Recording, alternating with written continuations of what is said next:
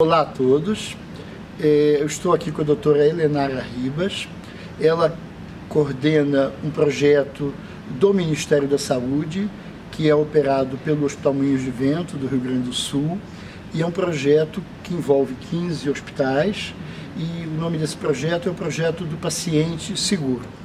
Essa entrevista, essa curta entrevista, aproveitando que estamos aqui no Qualiosp 2017, saber da doutora Helenara os principais aspectos desse projeto, as suas etapas, e que ela fale um pouco do evento que vai acontecer no dia 30 e 31 de março de 2017, agora em Porto Alegre.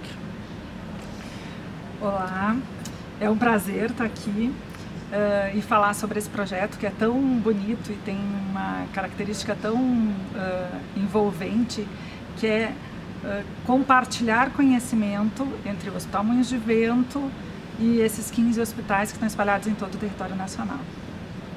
O projeto ele tem alguns aspectos importantes de implantação do núcleo de segurança do paciente e uma, um braço educacional muito importante. Educação significa tanto educação do usuário uh, como educação dos profissionais de saúde é, tanto de forma presencial quanto de forma virtual. Então é um trabalho que vai se estender até o final de 2017. E o evento agora, do dia 30 e 31 de março, o que, que vai acontecer nesse evento? Esse evento, é, que é chamado o primeiro encontro internacional do projeto Paciente Seguro, ele, o principal objetivo dele é compartilhar experiências. Então, nós vamos ter oportunidade de compartilhar experiências com pessoas uh, que já são reconhecidas na área de segurança do paciente, o Vitor, que vai falar pelo Paqualis, o Ministério da Saúde, alguns hospitais que estão fazendo uh, melhorias e processos inovadores, mas também nós vamos ter uma grande uh, parte do evento que, em que os hospitais do projeto vão mostrar momentos, atividades e processos em que eles avançaram ou que eles uh, são muito bons. E a ideia é que nós uh, todos aprendamos juntos, que a gente também tem o que ensinar, mas a gente sempre tem que aprender. Leonardo, eu queria te perguntar para encerrar, é, como é que você pensa, esse projeto tem um ano né, de duração, né, mais ou menos isso, e como é que você, como é que vocês estão pensando em termos de uma sistematização dos resultados de forma que isso possa gerar uh, sucessivas ondas. Como é que vocês estão pensando isso? A metodologia que nós estamos usando, a metodologia da ciência da melhoria.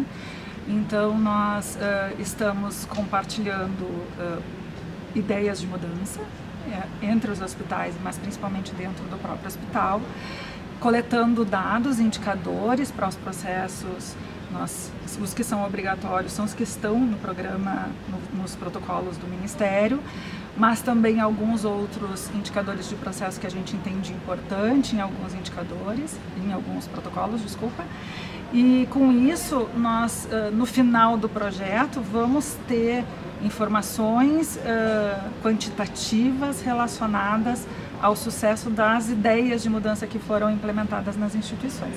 Então, um dos critérios de sucesso do projeto é que ele tenha metas quantitativas, que ele tenha resultados quantitativos no final desse ano. Para isso, nós precisamos, nós temos só um ano né, para mudar processo, nós precisamos ter uma intensidade de atuação dentro das instituições muito grande. Então, nós, precis, nós estamos muito próximos dos hospitais, mas nós temos também monitoramentos de indicadores quantitativos uh, todo o tempo. Quero agradecer a doutora Helenara e aí após o, a realização do, do encontro né, internacional uhum. sobre o é, paciente seguro, sobre o projeto do paciente seguro, a gente vai ter oportunidade de fazer uma nova entrevista contando dos resultados do encontro. Muito obrigado. Um Obrigada, eu que agradeço.